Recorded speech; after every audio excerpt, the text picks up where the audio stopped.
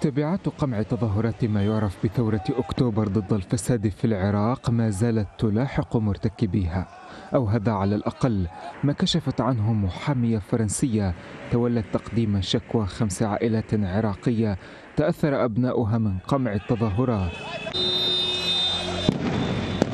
أحد هؤلاء الخمسة تعرض لإصابة حرجة والثاني مخفي قسرا والثلاثة الباقون قتلوا.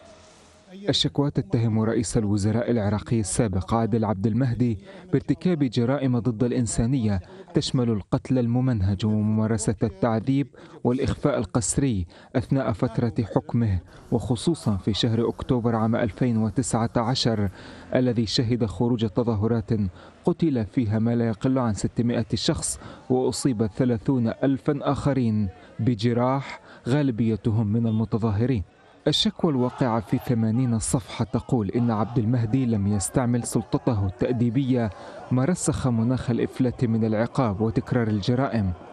العائلة العراقية تعول على المحاكم الفرنسية بدءا بالاعتراف بصفتهم ضحايا وتستند في شكواها على إقامة عبد المهدي لفترة طويلة ومتقطعة في فرنسا.